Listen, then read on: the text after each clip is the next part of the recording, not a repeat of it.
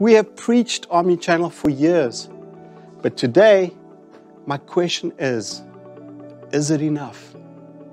As you all know, we need to be where our customers are.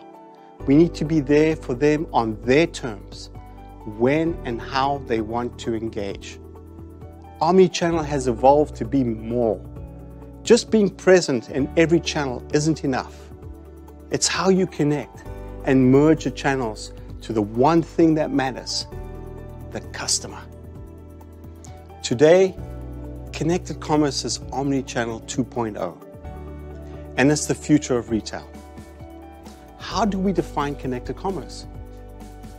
It's a seamless and personalized integration of online and in-store that enables consumers to shop, purchase, and receive goods on their terms, wherever, whenever, and however they want. Many retailers like Warby Parker have seen and experienced this shift firsthand. It's a convergence of many where the experience and path of purchase becomes seamless. Using that connected commerce frame of mind, we can't ignore the massive role that mobile and especially video plays in all of it.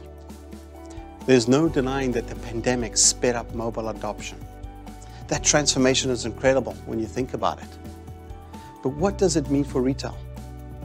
The more mobile users there are, the more opportunities there are to innovate the way we buy and sell